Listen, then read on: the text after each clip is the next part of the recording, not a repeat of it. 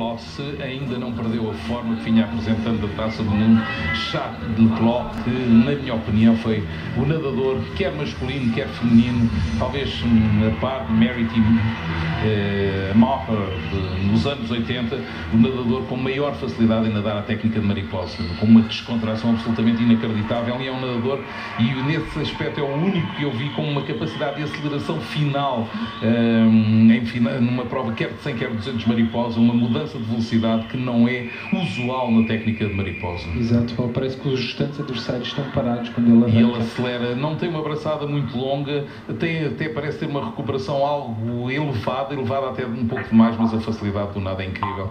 Deste uh, nadador da África do Sul que está a nadar na pista número 4 e que tem estado brilhante este dia, nesta edição dos Campeonatos do Mundo. Ganhou a prova dos 200 metros livres no dia de ontem, com um tempo de, na casa de 1,41, melhorando o seu tempo de inscrição, que era de 1,44. Portanto, Chado Claus certamente irá estar aqui para vencer e ele que está neste momento à frente e a nadar abaixo para de recorde do mundo. Leclerc à frente, Shields na segunda posição e Lochte na terceira posição, 29 centésimos de segundo abaixo, parcial para recorde do mundo. Um percurso atuático incrível, mas muito bem também está Tom Shields na pista número 3 e aqui a pista 7 e 8 também muito bem, enorme emoção, mas Shadow Clock parece estar claramente à frente de toda a concorrência.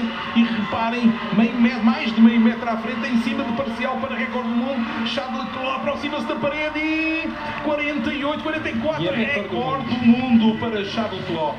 Fantástico, de facto, um talento inacreditável. Este nadador sul-africano, primeiro classificado. Clock, absolutamente incrível, uma ovação